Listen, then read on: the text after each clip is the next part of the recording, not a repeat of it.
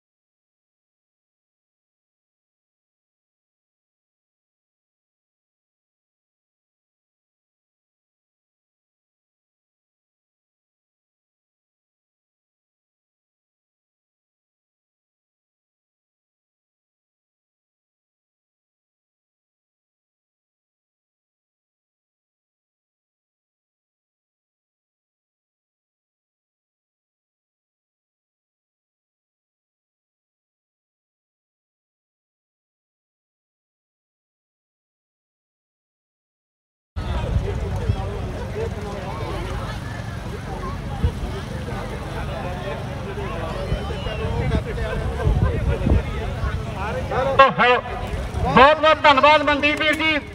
ਤੇਰੇ ਖੰਡੇ ਨੇ ਜਿਨ੍ਹਾਂ ਦੇ ਮੂੰਹ ਮੋੜੇ। ਤੇਰੇ ਖੰਡੇ ਨੇ ਜਿਨ੍ਹਾਂ ਦੇ ਮੂੰਹ ਮੋੜੇ। ਸਾਨੂੰ ਫੇਰ ਅੱਜ ਵੰਗਾਰਦੇ ਨੇ। ਉਹ ਬਾਜਾ ਵਾਲਿਆ ਬਾਜ ਨੂੰ ਭੇਜ ਮੁੜ ਕੇ ਤਿੱਤਰ ਫੇਰ ਉਡਾਰੀਆਂ ਮਾਰਦੇ ਨੇ। ਬਿਲਕੁਲ। ਦਸਵੇਂ ਪਾਸ਼ਾ ਸਾਹਿਬ ਸ੍ਰੀ ਗੁਰੂ ਗੋਬਿੰਦ ਸਿੰਘ ਜੀ ਦੀ ਬਖਸ਼ਿਓ ਦਾਤ ਮਾਰਸ਼ਲ ਆਰਟ ਕਬਜ਼ੇ ਦਾ ਪ੍ਰਦਰਸ਼ਨ ਮਨਦੀਪ ਵੀਰ ਜੀ